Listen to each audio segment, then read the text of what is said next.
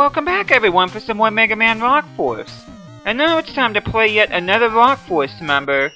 And in today's video, I'm going to be playing as Cutman. Now, Cutman is my second favorite Rock Force member. I, I actually rate him more than I do Fireman. And, it is, and in, in this video, if I can speak English, I'll be fighting Pulse Man. Now, Cutman's supposed to do a pretty good job on here, so... But anyway, his weapon is the Rolling Cutter. You can hold up and fire to make a looping shot, much like the Knight Crush. You can hold down and fire, and the Rolling Cutter will follow along the ground. And Cutman can also wall jump as well. He's only one of two uh, Force members that I know of off the top of my head that can do that. Elecman is the other one.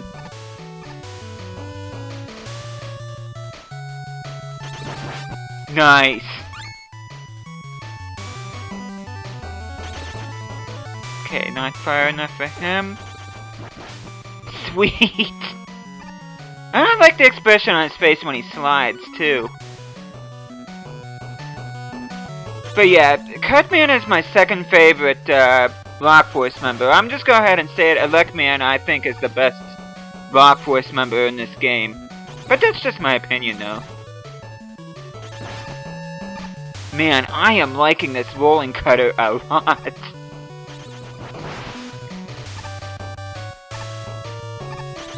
Yeah, he's making short work of the enemies here.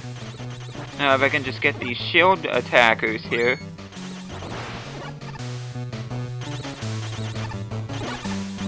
Now, is it just me or the rolling cutters look like white Pac-Mans on the, uh, should I say Pac-Man on the screen there? Ah, oh, it's so cool. Okay, now we get this part again. Now, I think I said this in my playthrough, and if I did, I stand by it. I think this is much easier than the teleporting gimmick that was on Mega Man 9 and Galaxy Man stage.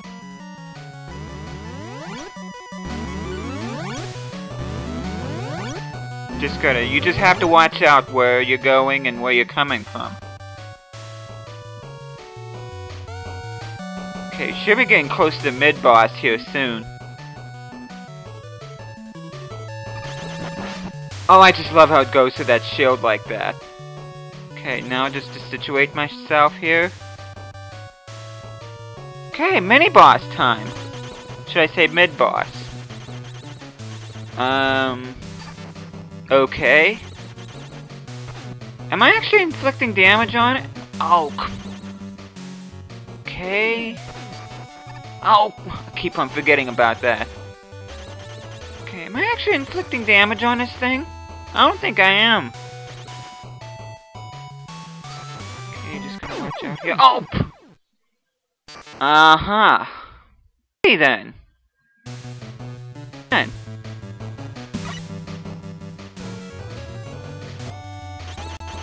Alrighty, let's see. Ah. Uh.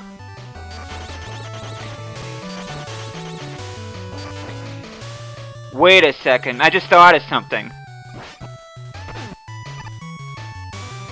Okay, now if I can actually aim it towards so I can hit this thing.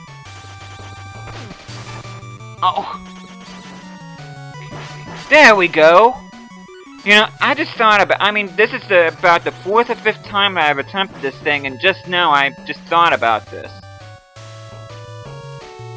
Yeah, I'm probably gonna have to edit this video just so I can get to this point, that way it won't be too long, but still.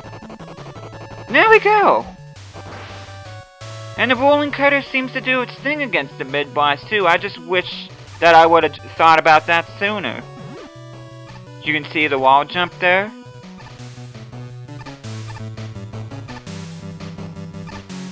Now, I could be wrong about this, I never played the game, but in Mega Man Power Powered Up, I think Cutman can wall jump on that game, too.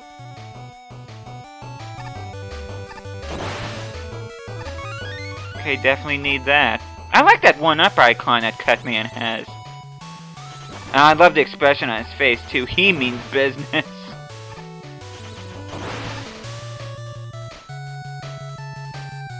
Best part about this is that there's no lag. Oh.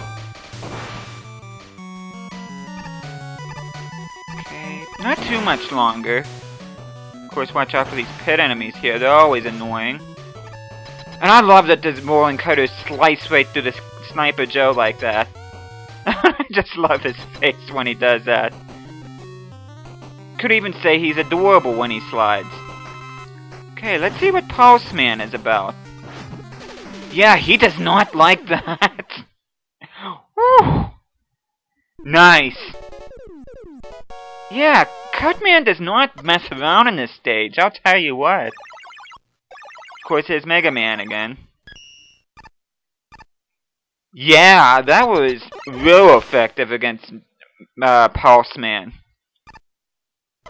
Well, hello there, Nacho Man. As a matter of fact, I'll be playing as you in the next video. Probably shouldn't have said that, I probably should have kept that a secret, but... But at least you guys know, so as you can see there, there was the Pulse Stopper, one of the best weapons in this game, in my opinion, so... Thank you guys so much for watching this, enjoying this series. Be seeing you guys again next time.